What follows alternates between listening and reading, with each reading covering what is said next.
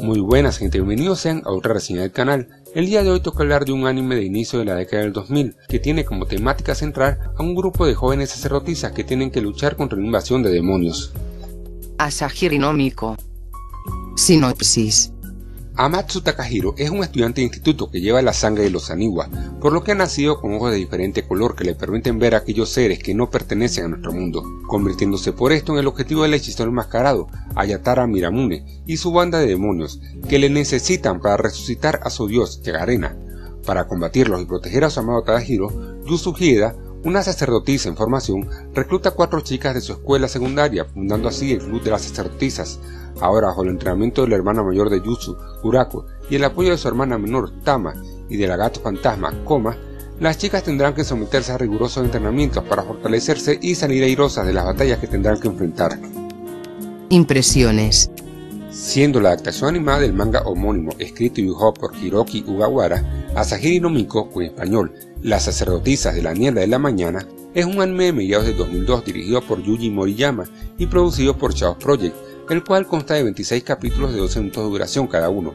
siendo este un anime que llamó mi atención inicialmente por su temática de sacerdotisas y su fuerte protagonismo femenino, debo decir que mi experiencia con Asahiri Nomiko ha resultado ser algo decepcionante, siendo una obra que aunque empieza relativamente bien termina perdiendo fuerza rápidamente. La serie nos presenta una historia de acción, comedia y fantasía con algunos elementos de drama y el live que si bien logra atraerte en inicio con unos episodios introductorios bastante entretenidos, presentándose el anime con un título sencillo y fácil de seguir, más temprano que tarde la serie termina cayendo en el tedio, ocupando un formato episódico del monstruo de la semana que no deja avanzar a su trama principal, la cual se termina estancando terriblemente, y no ayudándole tampoco el hecho de que al ser sus capítulos de tan solo 12 minutos de duración cada uno, esto le termina llevando a que los mismos se sientan apresurados, al sucederse todos los eventos contenidos en los mismos muy rápidamente y no ofreciendo estos la mayoría del tiempo mayor contenido relevante. Aún así, la conclusión de la historia, correspondiente a los últimos 4 o 5 episodios del anime, resulta adecuada, recuperando hasta cierto punto el nivel de interés que lograba generar en un inicio.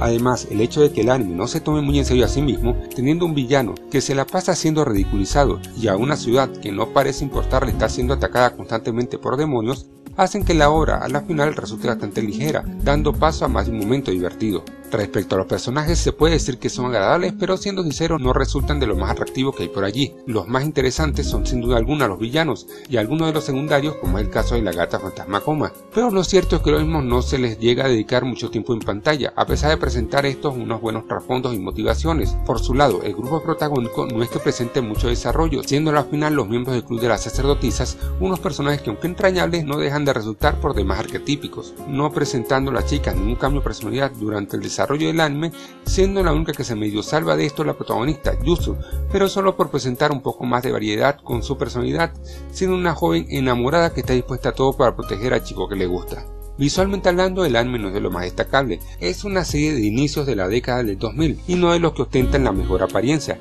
presentándose con una animación no muy detallada que abusa del reciclaje de escenas y entregando unos diseños de personajes agradables pero medio genéricos, o unos fondos que si bien cumplen su trabajo no destacan para nada. De la música cabe decir que fue mejor de lo que esperaba, no es que lo sea nada del otro mundo, pero tiene un par de tonadas que logran llamar la atención, Además, tanto el opening como el ending de títulos Faint Love y Koibuni, ambos interpretados por Migumi Hayashibara, me terminaron resultando bastante atractivos, especialmente el segundo. Conclusión. Serie que definitivamente podría haber resultado mejor, presentándose con un formato que termina cansando rápidamente pese a lo liviano del contenido en sí, pero que igual tiene detallitos que la hacen agradable y algún que otro momento que vale la pena. No es que la recomiende mucho, pero tampoco es como si fuera un desperdicio total. Mi calificación final para la serie es de 5 sobre 10.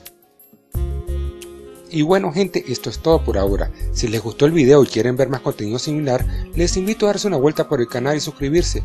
Como también les animo a que visiten mi blog personal, donde podrán encontrar esta y muchas más reseñas en formato escrito. Los links se los dejo en la descripción.